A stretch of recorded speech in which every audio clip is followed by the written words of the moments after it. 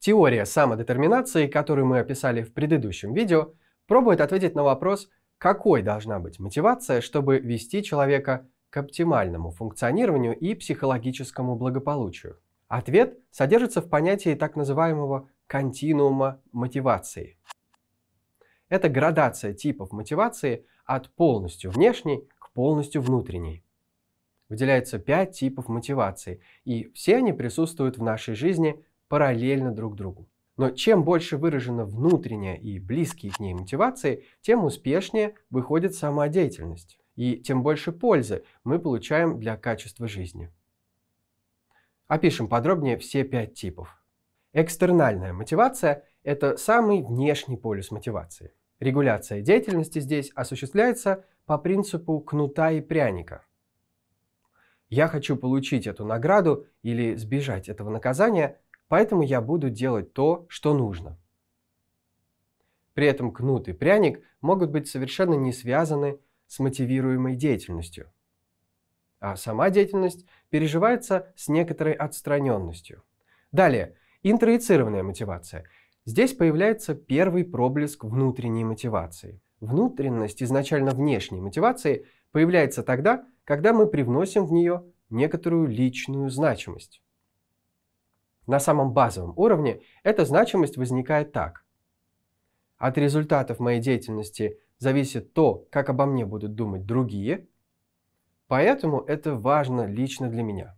Поэтому я буду это делать. Можно сказать, что на данном этапе деятельность направляется желанием поддержать самооценку и сильно зависит от сферы отношений с другими людьми.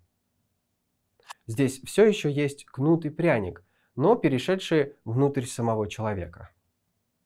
Пряником тут будет, например, гордость за себя, а кнутом такие чувства, как вина или стыд. Третье.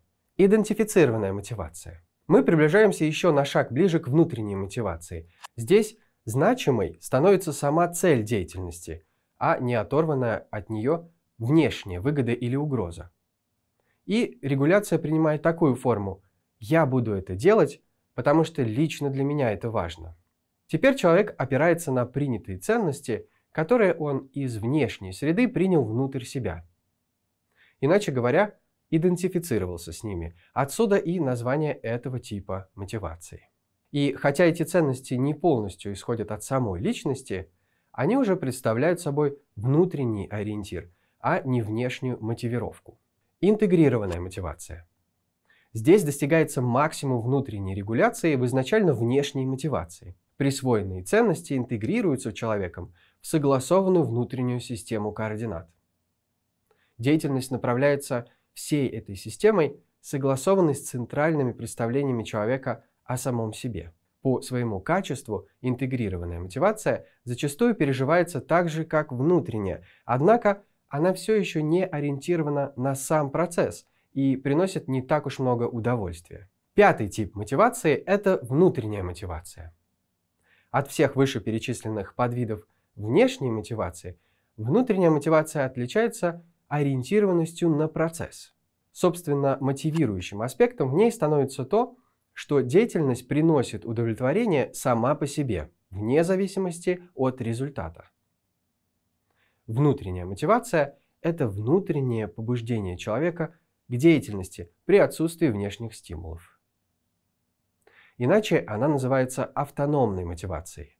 Такая мотивация открывает для человека путь к более успешному социальному развитию, к осмысленной и счастливой жизни. Разумеется, это очень хорошо, когда деятельность познания, академическая активность хотя бы отчасти переживается как внутренне мотивированная. При этом совсем без внешней мотивации жить невозможно.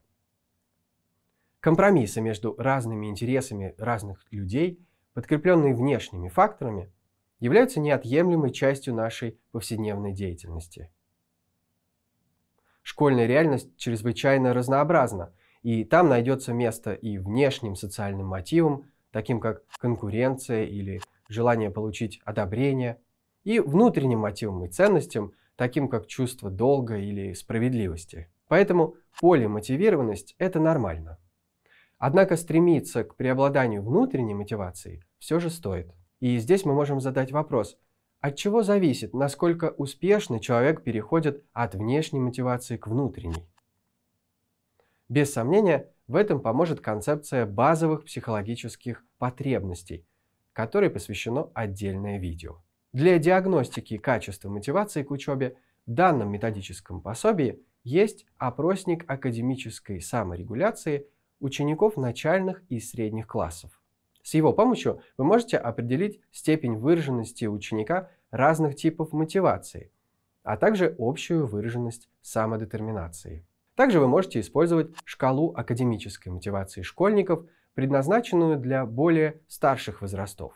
При этом в этой шкале в рамках внутренней мотивации вы можете посмотреть отдельные мотивы. Это стремление узнавать новое и понимать сам процесс обучения – это мотив к достижениям, например, к решению трудных задач. И это мотив к саморазвитию и ощущению компетентности.